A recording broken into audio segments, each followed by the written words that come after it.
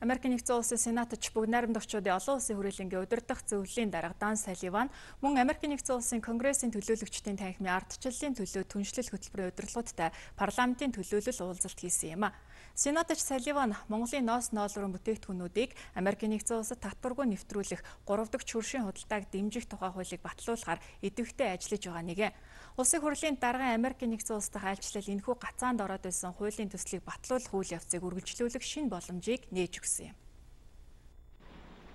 Монголын тал 3 дахь хөршийн худалдааг дэмжих тухай хууль болон Монгол Америкийн стратегийн түншлийг бэхжүүлэх тухай тогтоолын төслийг дэмжиж байгаагаа илэрхийлсэн.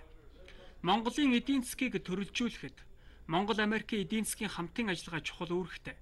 Манай улс цаашид Америк нэгдсэн улстай чөлөөт худалдааны хэлэлцээр байгуулах зэрэг эдийн засгийн харилцаагаа өргөжүүлэхэд чиглэгдсэн бодиттой ажил санаачлагын талаар сан солилцсон юм а.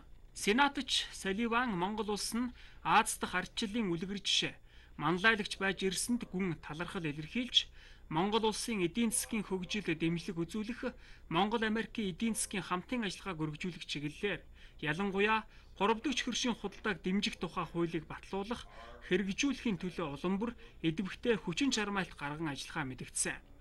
Энэхүү уулзалтаас гадна их хурлын дарга Зандан шатар Америк нэгдсэн улсын конгрессийн төлөөлөгчдийн танхимын ардчлалын төлөө түншлэх хөтөлбөрийн дарга төлөөлөгчдийн танхимын гишүүн Price тус хөтөлбөрийн гүйцэтгэх захирал Луитен нартай уулзсан. Монгол улс дахь ардчлалыг бэхжүүлэн хөгжүүлэхэд Америк нэгдсэн улс ялангуяа Конгрессийн уг хөтөлбөр гишүүн Прайсийн зүгээс чухал хувь нэмэр оруулж дэмжиж ирсэнд Монголын тал талархал дэвшүүлсэн. Монгол улс нь Америк нэгдсэн улстай чөлөөт худалдааны хэлэлцээр байгуулах Америк нэгдсэн улсын конгрессоор 3 дэх хөршийн худалдааг дэмжих тухай хуулийг батлуулах хүсэлтэй байгаагаа дуулгасан юм а. Мэдээллийг товч